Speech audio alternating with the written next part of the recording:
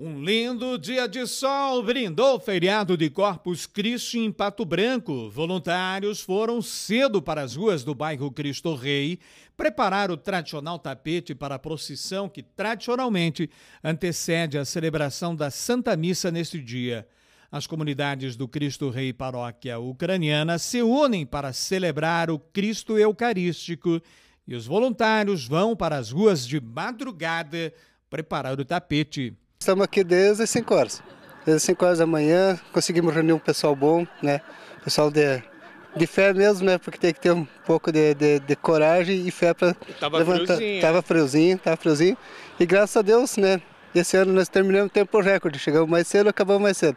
Eliane Caraçota preparou seu pedacinho do tapete com muito carinho, com as figuras de São José e do Menino Jesus. A inspiração é pelo trabalho, né? A gente vem para trabalhar, vem para ajudar, levantar cedinho, não ter medo do frio. A comunidade se reuniu por aqui desde as 5 horas da madrugada desta quinta-feira. O resultado foi este, um belo trabalho, através da união de voluntários de todas as faixas etárias. Foram quase 300 metros de tapete para a passagem da procissão de Corpus Christi. No tapete, desenhos sacros representando a fé católica. E não faltou a bandeira do Rio Grande do Sul, lembrando em orações os momentos difíceis que o Estado passa, ainda com milhares de desabrigados. A igreja da comunidade Cristo Rei ficou pequena para abrigar centenas de fiéis que participaram da celebração da Santa Missa, realizada de forma conjunta pelos sacerdotes das paróquias Cristo Rei e Nossa Senhora do Perpétuo Socorro. Este ano, um detalhe chamando a atenção: a grande participação de voluntários de todas as faixas etárias e, entre eles, a grande participação de jovens. Eu tô aí desde os 8, 9 anos aí, sempre ajudando. Levanta cedinho? Cedo, umas O que, que te motiva horas. a vir pra cá?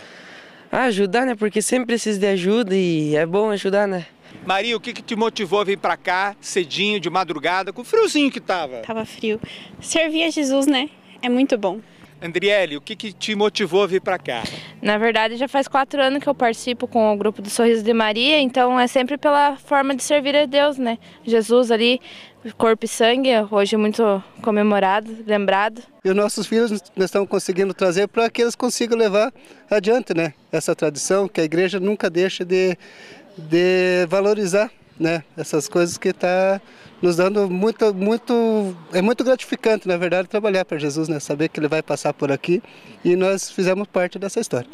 Após a celebração da Santa Missa, os fiéis saíram em procissão, finalizando com a bênção final na comunidade ucraniana.